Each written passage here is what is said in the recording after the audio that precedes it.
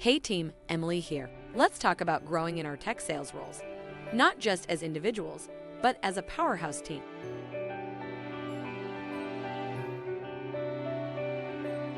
First, let's talk open communication. Think about our weekly brainstorming sessions. When John shared his unique approach to customer follow ups, we all learned something new. It's about speaking up and sharing those gold nuggets of wisdom that can help us all improve.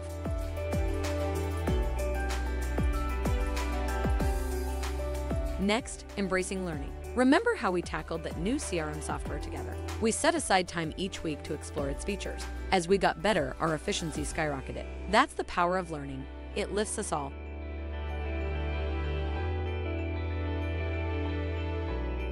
Finally, learning from failures and celebrating successes. Take our Q2 project. We didn't hit all our targets, but we analyzed our approach and identified key areas for improvement. Then we celebrated our learnings with a team lunch. We grow from every experience, good or bad.